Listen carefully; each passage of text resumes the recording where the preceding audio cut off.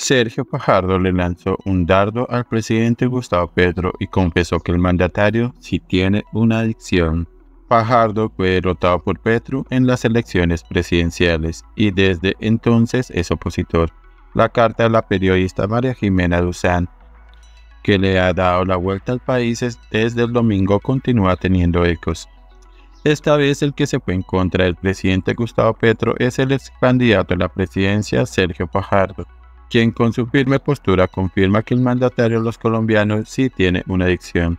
El domingo la comunicadora de USAN, reconocida seguidora del petrismo, le hizo un llamado al presidente de Colombia Petro a reconocer sus equivocaciones, pero sobre todo admitir que tiene un problema de adicción.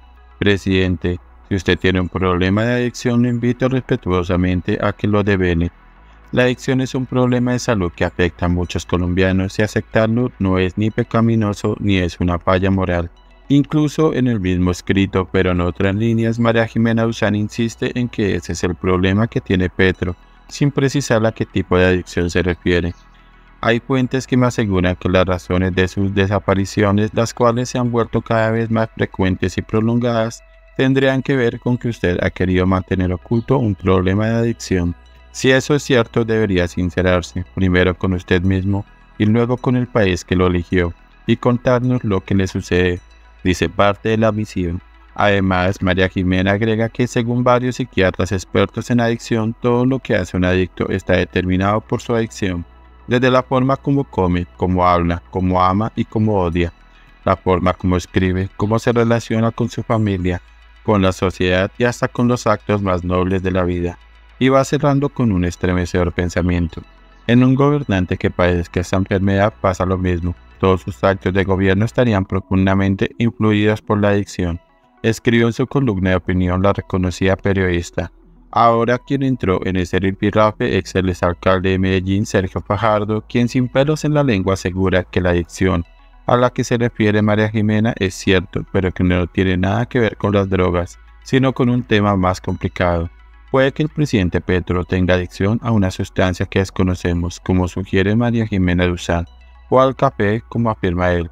Inicia su escrito en la noche del lunes Sergio Fajardo, quien publicó un post en su cuenta de X. El político puntualizó que Petro efectivamente tiene una adicción. La adicción sí está confirmada, es su adicción a las declaraciones altisonantes y al caos. Además, Fajardo agregó que ahora las disidencias de las FARC van a meditar sobre la paz total, comentó el profesor Fajardo. Además, Sergio Fajardo le lanzó un dardo directo y mostrando su inconformismo y ratificando su oposición al gobierno de Gustavo Petro. Todo susceptible de empeorar, cerró diciendo Fajardo.